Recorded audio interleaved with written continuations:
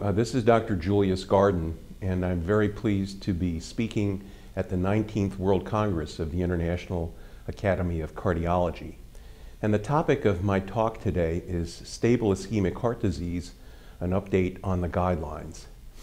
Now, I was privileged to be the vice chair of guidelines in 2012, which were sponsored by the American College of Cardiology, the American Heart Association, the Society of Thoracic Surgery, and four other organizations. And this uh, series of guidelines had about 150 pages.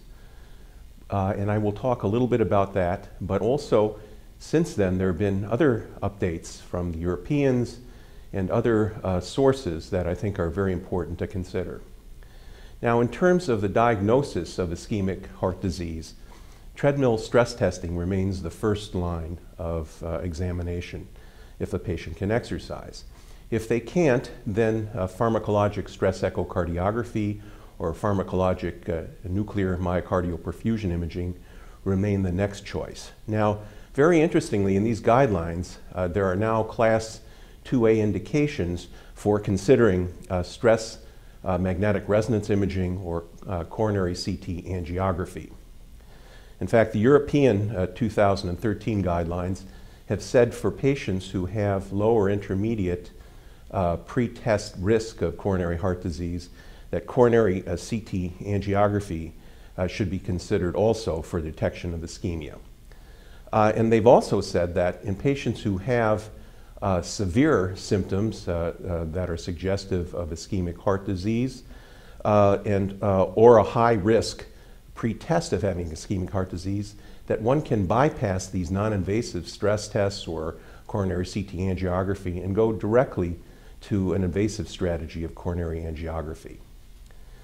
Now, in terms of therapy, the guidelines emphasize that our first line of defense is what's called guideline-directed medical therapy. And that typically includes uh, aspirin, beta blocker, statins, also treatment, uh, appropriate treatment for diabetes and hypertension, smoking cessation, uh, weight reduction, and exercise and proper diet. Now, other uh, um, discussions here are focusing very heavily on changes in the guidelines for both hypertension. Uh, in, in the new JCN uh, NC8, for example, uh, uh, people 60 and over, we don't have to get their blood pressure down to 140 over 90 anymore, but 150 over 90 uh, is uh, considered sufficient.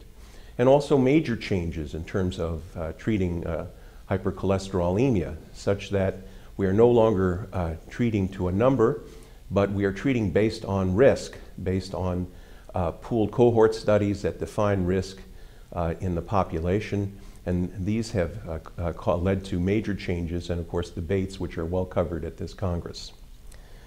Now, if someone is having angina, they may need a multi-drug regimen to treat them.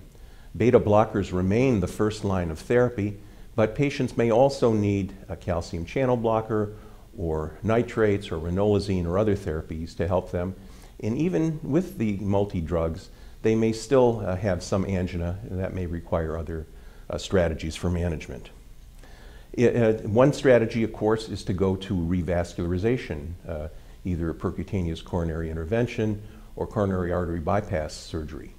But the COURAGE trial has taught us that for the vast majority of patients with uh, what's called stable ischemic heart disease, that one can defer the revascularization strategy until one first tries guideline-directed medical therapy. uh, in addition, we've now learned from the FAME trial and other studies that before revascularizing uh, lesions when we're going to a revascularization strategy, we need to know their functional significance. We can do that with non-invasive stress testing, but what's become more popular now is using fractional uh, flow reserve me uh, measured in the cardiac cath uh, catheterization laboratory after administering a drug like uh, uh, adenosine. And the FAME trial showed that um, a strategy of using functional uh, uh, fractional flow reserve measurement uh, in the context of also doing a percutaneous intervention uh, was more efficacious in terms of decreasing two-year uh, mortality and acute MI versus uh, just doing the standard coronary angiogram in patients with multivessel coronary disease. In fact, it decreased the combined endpoint of mortality and uh, acute MI from 12.9% to 8.4%. So that uh, the concept is that we have to evaluate whether a lesion that we want to treat with uh, intervention is really the lesion causing, causing the problem. Another thing that has uh, been learned through the FREEDOM trial is that coronary artery bypass surgery may in fact be preferable to percutaneous coronary intervention in patients with diabetes and multivessel disease. Now, the whole issue of following up patients with stable ischemic heart disease is also an important one, and something that's gained great traction is the idea that we no longer do routine testing, say stress tests uh, with uh, echo or nuclear or standard stress tests or other um, monitoring uh, tools in patients routinely, say on an annual basis. We don't do that. We wait for a change in clinical status. And this is uh, the substance of uh, initiatives such as the Choose Wisely initiative in the United States and other initiatives. And finally, these guidelines uh, from uh, America and Europe uh, emphasize the uh, importance of the collaboration of the patient with the physician and the medical team in terms of decision making, uh, in terms of how one is treated medically or with intervention. And this is a very important concept. Well, it's a very exciting time in stable ischemic heart disease, and I want to emphasize that guidelines uh, almost are obsolete when they're issued because uh, there's so many changes that go on. Uh, uh but that's what makes it such a, an exciting field to uh, keep abreast of. One of the key things here is it's the international flavor and also the multidisciplinary flavor. So, for example, whereas I might go into an area to, to a conference that uh, concentrates on non-invasive imaging, which I'm involved in, but I won't get to see all of the other uh, fields like I do here, and, and often I won't get the breadth of international uh, experts that I see here. So I think this, uh, uh, not only in terms of the lectures, but in terms of networking, presents a very important opportunity for faculty and attendees.